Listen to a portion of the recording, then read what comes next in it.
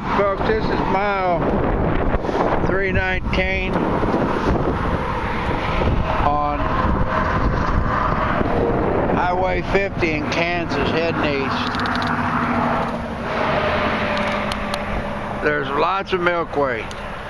The milkweed comes right up out of this grass, folks. There's tons and tons of milkweed. Has been ever since Highway 135.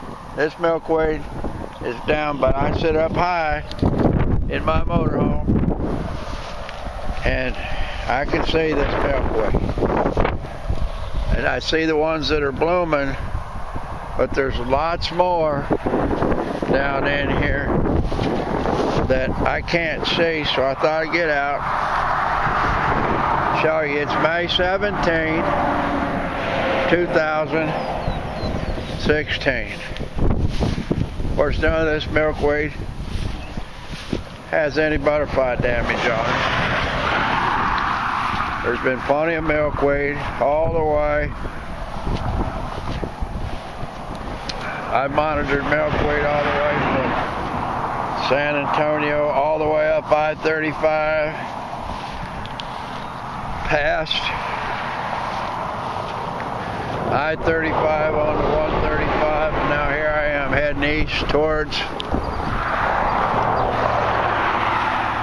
Kansas City.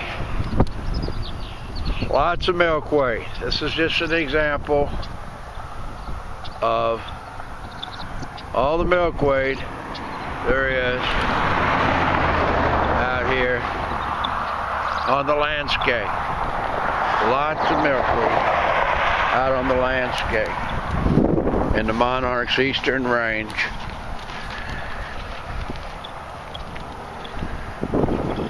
Craig the Butterfly Man.